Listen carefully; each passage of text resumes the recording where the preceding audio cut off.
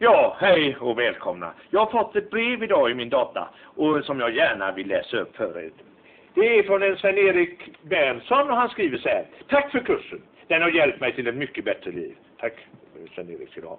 Du är en utmärkt pedagog och dina förklaringar på datamaskinen, hur man skriver och hela systemet är är glimrande, geniala och lysande i all sin enkelhet. Bara en sak, förklara Tokyo-linjen igen. Sven-Erik, och det man inte har fattat första gången, det får man heller inte reda på. Sådana är våra lagar. Har du inte begripit det så kan inte jag hjälpa detta. Vi, vi måste skynda vidare i kursen. Och nästa gång, som är den sista, så ska du få reda på tre av mina enklaste tips. Lyssna på dem Sven-Erik, så ska vi nog hjälpa dig till ett ännu bättre liv.